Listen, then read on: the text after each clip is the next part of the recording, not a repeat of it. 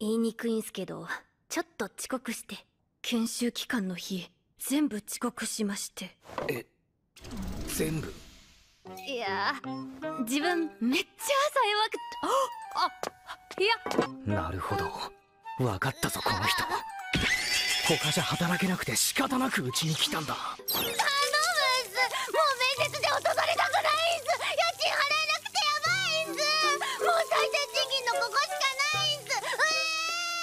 最低賃金。僕はまだ15で。15?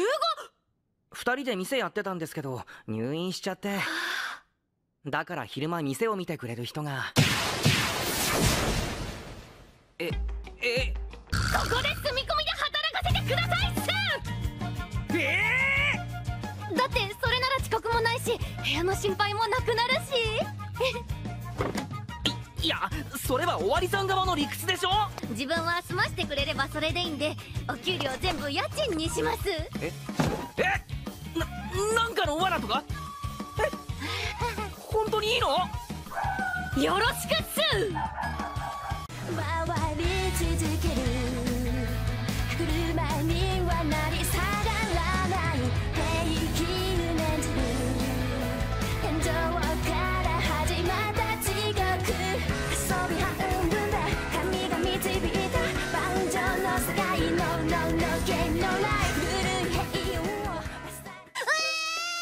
最低賃金。僕はまだ15で。15?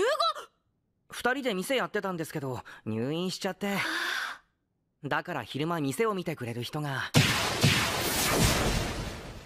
え？言いにくいんすけどちょっと遅刻して研修期間の日全部遅刻しまして。え？全部？いやー自分めっちゃ朝弱くてああいやなは済ましてくれればそれでいいんでお給料全部家賃にします。え？え？ななんかの罠とか？え？本当にいいの？よろしくっす。え？ここで住み込みで働かせてくださいっす。え？だってそれなら遅刻もないし部屋の心配もなくなるし。いやそれは終わりさん側の理屈でしょ？